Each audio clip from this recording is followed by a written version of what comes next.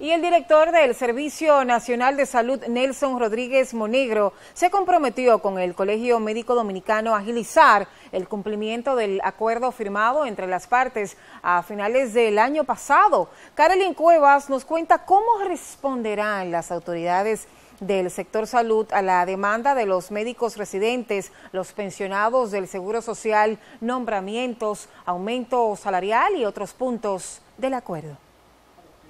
A primeras horas de la mañana de este miércoles, el director del Servicio Nacional de Salud recibió en su despacho a los directivos del Colegio Médico Dominicano tras las protestas montadas en los hospitales Juan Pablo Pina de San Cristóbal y la maternidad Nuestra Señora La Alta Gracia en demanda de que se agilice el cumplimiento de los acuerdos firmados el año pasado. Nelson Rodríguez Monegro se comprometió a dar respuesta a los puntos que competen al servicio y gestionar los que dependen de instancias mayores luego del pago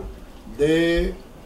el mes laboral de enero, pues se va a hacer el, el pago de ese bono a los residentes Además de los médicos residentes, dijo que coordinará una reunión con la Contraloría y la Dirección General de Presupuesto para tratar la unificación de las pensiones y el aumento de sueldo a los médicos de hospitales de autogestión. El director del Servicio Nacional de Salud además se comprometió a llamar a concurso la próxima semana para nombrar a unos 24 directores de hospitales. Posiblemente tenemos en un hospital del seguro una empleomanía redundante que lo vamos a transferir a otro hospital dentro de, de la misma área donde viva ese médico. Posteriormente a esa reorganización, entonces habremos terminado el levantamiento de las necesidades de recursos humanos, sobre todo médicos y especialistas, en los diferentes establecimientos de salud. Ya hay una salida, eh, pero no es porque eh,